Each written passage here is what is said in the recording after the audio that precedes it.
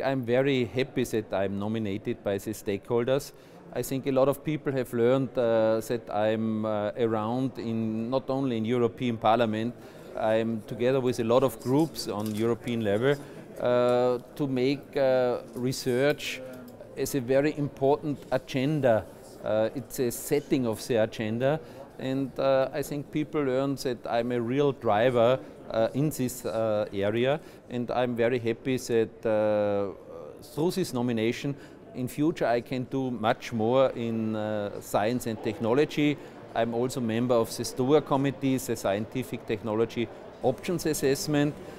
where we decided that we want to create the framework for the future and you feel that I'm really interested to drive the agenda and uh, winning the prize would be very positive to help Europe to be in the lead of this debate.